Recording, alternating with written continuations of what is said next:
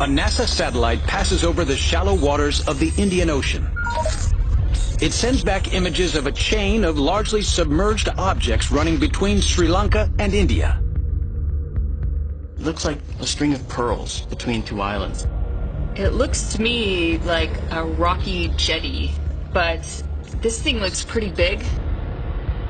On closer analysis of the satellite image, investigators calculate the line of rocks is over 30 miles long. What makes the image especially intriguing is that the rocks are in an area of sea mentioned in an ancient Hindu poem.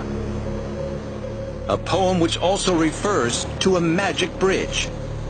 They're Hindu legends that the god Rama placed a bridge here connecting India to Sri Lanka. The stones in the satellite image are sitting on something oceanographers call a shoal or sandbar. These occur in an area where there's shallow waters and sand could accumulate between the two land masses. The sandbar may be natural, but what's sitting on top of it is not. This isn't just a simple sandbar. There's objects in here that haven't been eroded away. There are stones that have been brought from afar and set on top of our sandbar island chain.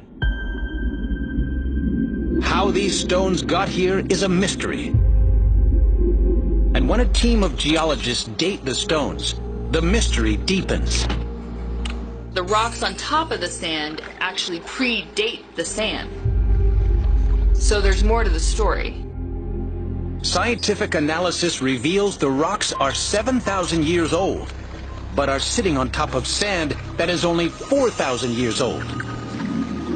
These results suggest the structure in the satellite image isn't natural, but built by humans. Some scholars believe the ancient texts refer to a time 5,000 years ago. At this point in history, building such a long bridge would have been a superhuman achievement.